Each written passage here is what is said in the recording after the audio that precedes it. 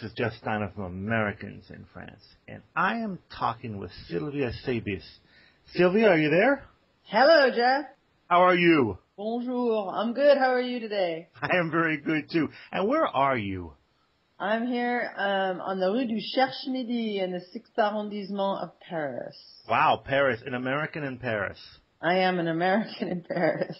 How long have you been in Yet another. Another. How long have you been in Paris for? I've been here um, for 12 years now, this time. But I did my studies here earlier, before that. And what do you like to do on the weekends in Paris? On the weekends in Paris, we have errands to run because Saturday is the one day all the shops are open and we can do everything we couldn't do during the work week. And then we like to go to art galleries and art exhibits and art shows and maybe some theater and then a little more art. Uh, what, what kind of art galleries?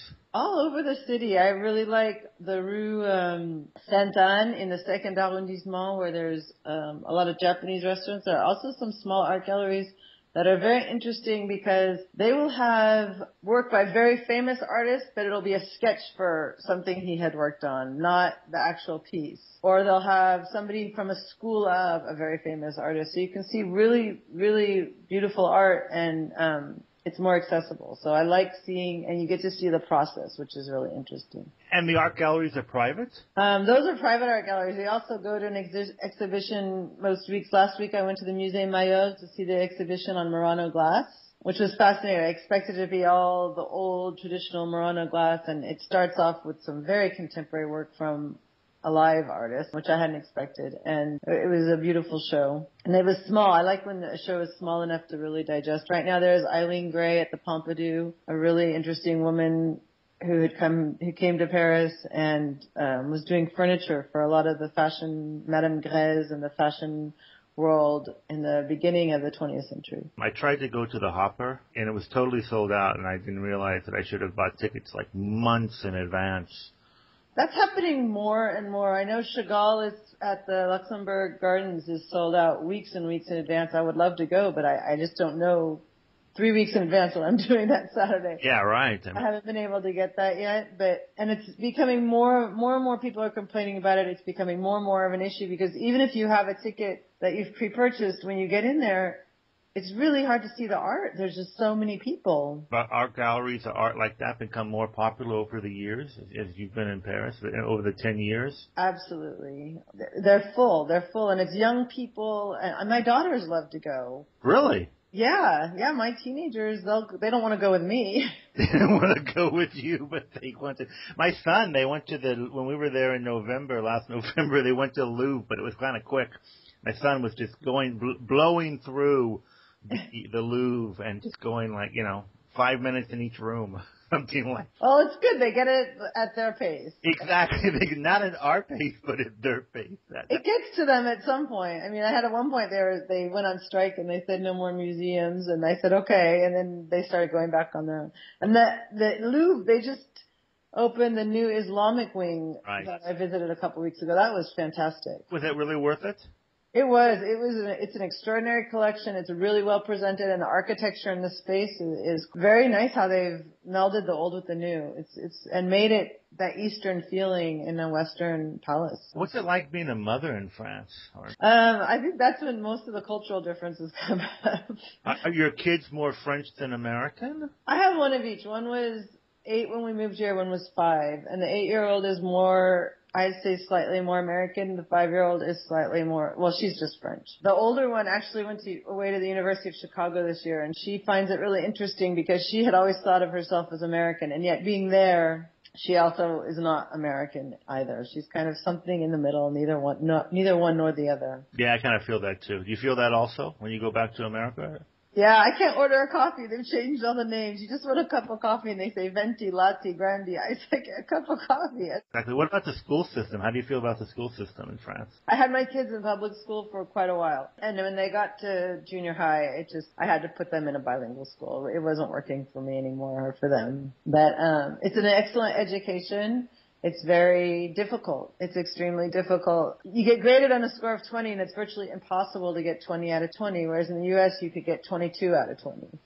Yeah, the thing I've discovered is that in uh, in America it's more grade inflation, whereas in France it's really deflation. They don't they don't they almost want to um, make it so you because it's ten, basically ten is the passing, ten out of twenty is the passing grade, and it's like getting that ten a little bit over can be really difficult. When my daughter comes home with a 15, she her feet aren't touching the ground. She's so happy, and I'm thinking there's something horribly wrong. We have to get tutors. yeah, the American. Wait a minute. Yeah, because it's supposed to. There's not that um that positive reinforcement. It just doesn't really exist. Then they would. That's one of the things that happened at the junior high. The the teacher, the English teacher, would always ask one question that if you spoke fluent American English, you would get it wrong. And she would ask another question that if you spoke fluent British English, you would get it wrong. So she had all these fluently bilingual kids, even though it was a public school. Uh huh. And nobody could ever get 20 out of 20 on an exam, even though they all spoke English better than she did. Oh, because she was mixing. Yeah, the mixing it up. That's... She was she was doing it on purpose. She didn't want to have to be giving out 20s. Tell us uh, about your blog. It's called Finding Noon. Since I live on the Cherche Midi, I write about visits to art museums. I write about uh, fashion shopping. I get. I was able to see several fashion shows now for Paris Fashion Week, and I get to see a few more every year. I really love, that's one of the first thing that drew me to Paris when I was much, much younger was just the fashion design and style and everything. Um, and then I write about daily life recently. Not, Right now I'm working full time for a client in their offices and I just write about the pressure of getting dressed to work with all these beautiful Parisians. I write about, um, the, the schedule of a day in Paris, how I don't start till 10, so I have my whole morning to get everything done, but I also don't get home till 8 o'clock at night. Is Paris how you imagined it would be? It is because I did not come here with rose tinted glasses. I knew that I had been a student here. I knew life here can be very, very difficult. And that the paperwork and the, some of the day to day things can be very demoralizing and you just I picked my problems. Everywhere in the world has a ton of problems, a ton of great things to offer. I come from San Francisco, beautiful city. Um, but the problems that I faced day to day in Paris were the problems that suited me better than the problems I faced day to day in San Francisco. What about some tips for shopping in Paris? My biggest tip I want to start getting out there to the world is don't be intimidated to go into those designer shops because so many people come here and they love that and they walk to the front door and they're afraid to go in and they're not going to be buying anyway. And you don't have to be buying. These people, it's about the design, it's about the fabrics. Um, the salespeople are extremely well educated. They love talking about their subject, and um, it's an education. I encourage people to walk through that door if, if that's something that interests you and ask questions and don't be afraid to try things on. What street would this be? What, or what neighborhood would, would, would one of these shops be at? Avenue Montaigne has the shops that have the most selection. I like Saint Honoré. It's smaller, more intimate, and they're both. It's the same collection of stores with Yves Saint Laurent and uh, Prada, even though it's Italian. It, it's there. Um, and I, for me, I, I'm a more smaller, intimate kind of shopper, so I'm more comfortable in Saint Honoré, but um, the true houses are on Avenue Montaigne. And the Louis Vuitton store, I was there last Sunday actually, they have an art gallery on their top floor. And if you go in through the side entrance, there's, as you're looking at the building on the Champs-Élysées, there's a side entrance to the right where you don't wait in line with the people who want to go in and shop. You feel like you're walking in an office building because you are. It's, it's um, also their offices and you go in and you tell them you want to go to the art gallery. And if you do that, um, they will escort you up in an elevator that's been done by the artist Olafur Eliasson. He's Swedish. He's a fantastic artist. Um, he created this elevator for them, and it takes you right to the top floor where there's a free art gallery. The show just ended. It was about mail and pieces of mail and how they were made into art. Um, but a new show is, is sure to come in the next couple of weeks.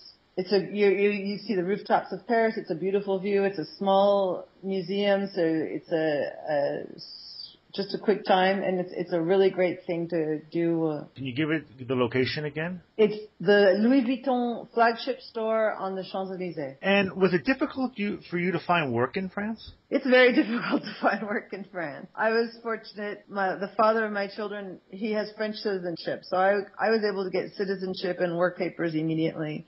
I did not go to school here. I do not have a network here. I do not have a traditional uh, education for my profession. I'm a copywriter and I did not go to an advertising school. I went to UCLA and studied literature. And so it's difficult because I don't have a traditional background for what I do. And there is ageism in France. They, I've been told in a job interview, you're too old. I've been asked, do you think you can keep up? And I'm not even 50 yet. So let's say I'm, I'm three days in Paris. What should I do? Have a picnic. Even if it's a cold, rainy time of year and it's on your bed in your hotel room, going to the local markets and so picking up a few cheeses, whatever the fruits that happen to be in season, a baguette, and just making a simple picnic in your room, toasting to some champagne is just a, really wonderful experience for new flavors and, and really getting to experience Paris.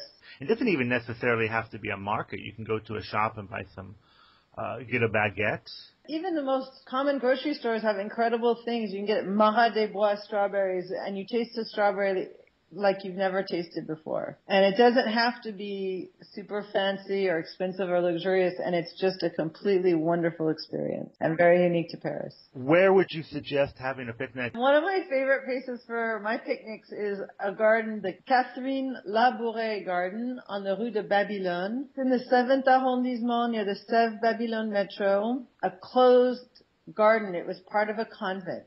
It has a kitchen garden with espadrille trees. It has a grass area that you can sit on. And it, because it's a walled garden, you don't see it from the street. People walk by and they never go in. And it's, so it's a really neighborhood little jewel full of kids running around having fun, everyone having a picnic. The museum, besides Musée d'Orsay or Louvre are the, the, the usual suspects that you would suggest somebody go visit? I love taking people to the Rodin Museum, especially people who are not necessarily into museums or art, because you can just go to the garden and enjoy the garden. There's a museum, it's the Petit Palais. It's the small palace that was built for the international exhibition. It's right in front of the Grand Palais. It's free because it belongs to the city of Paris. And I actually like just going into the courtyard um, on a sunny day. They have a cafeteria with a cafe and a beautiful garden. Besides like the Eiffel Tower, where, where's a good place to get a view, which you, that you would say are a unique view of Paris?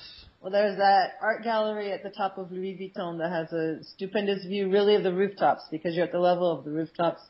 And right now everyone is talking about the restaurant Le Ciel de Paris, which is at the top of the Montparnasse Tower. And they got a new chef about a year ago, so the cuisine is exceptional right now. It's not just, it used to be just tourist food and not very good. And now it's very good food and you have a view over Paris that includes the Eiffel Tower. And my other favorite place for a view of Paris is the hot air balloon at the Parc André Citroën in the 15th. Um, okay, is there anything else you wanted to mention? Get lost. That's my third thing to do in Paris after picnics in a museum is get lost. Just go out the door. I like to take a different route home than I'd leave from my home, even my home, which I'm here every day because things are constantly changing and happening in every neighborhood. Um, you stumble upon a bookbinder. Recently in my neighborhood, I stumbled upon a, a gentleman. I thought he was, he restored art. It turns out he has a, cl- a collection of antique books that is just phenomenal. He has playing cards that were owned by Marie Antoinette. Um, and you just look in windows and stroll and walk and, and you find phenomenal things to, to look at. And again, like the fashion, these people are passionate about what they do. They're happy to speak to you and share with you. Um, and they try hard to speak English and communicate. And even if they don't speak English, sign language works. What would be some suggestions you would have for somebody thinking of moving to France? I think that everybody has to follow their dream and it is not easy. And, um, I would say if you have to work for a living, make sure you have your paperwork or a way to get your paperwork fairly quickly and just do not expect anything to work like it works in the US. Thank you very much, Sylvia. It's been really nice talking with you. Thank you for your time and have a great day.